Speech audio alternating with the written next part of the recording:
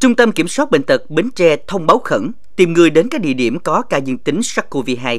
Theo thông báo của Trung tâm Kiểm soát Bệnh tật Hà Nội ngày 3 tháng 6 năm 2021, trường hợp bệnh nhân NHT có kết quả xét nghiệm dương tính với SARS-CoV-2. Trước đó, trong khoảng thời gian từ 11 giờ đến 13 giờ ngày 30 tháng 5 năm 2021, bệnh nhân trên có đến nhà hàng Làng Chài ở đường Đồng Văn Cống, phường 6, thành phố Bến Tre ăn trưa. Nay Trung tâm Kiểm soát Bệnh tật Bến Tre thông báo đến người dân có đến nhà hàng Làng Chài trong khoảng thời gian trên, hãy nhanh chóng liên hệ ngay cơ sở y tế gần nhất để được hướng dẫn các biện pháp phòng chống dịch COVID-19.